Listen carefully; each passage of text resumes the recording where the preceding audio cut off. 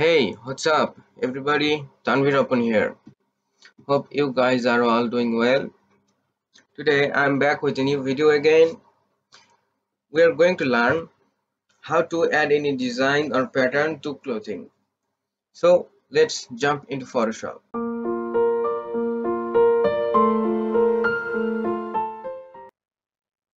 So this is the image we are going to edit and this is the pattern we are going to use over the t-shirt. So let's resize it.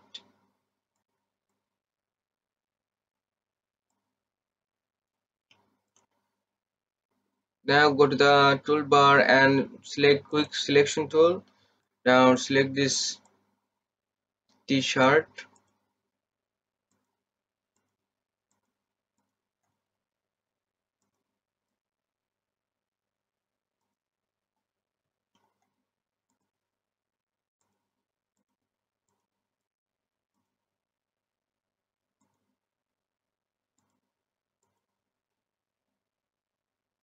it will take some time to make the proper selection.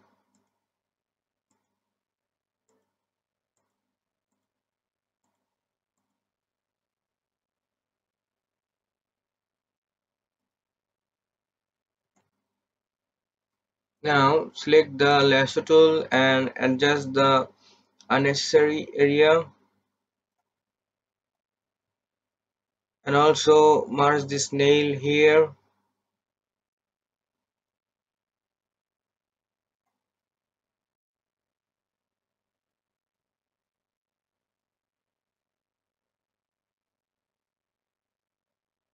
also deselect the necessary area from here. Yes now you can see that the t-shirt is properly selected. Then select the floor pattern here and add a layer mask. You can see the we have successfully added this pattern here to the shirt. Now double click on this layer here and open the blending options. Now you can see a few options here. You will edit this blend if option this layer and underlying layer. Adjust this layer options um, to so that the photo looks more realistic here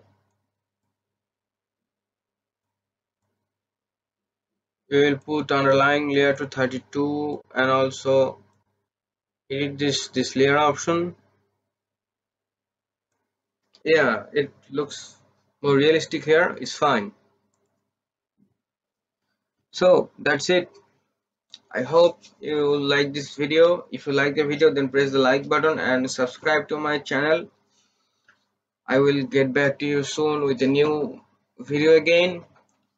Meanwhile you guys stay focused and keep learning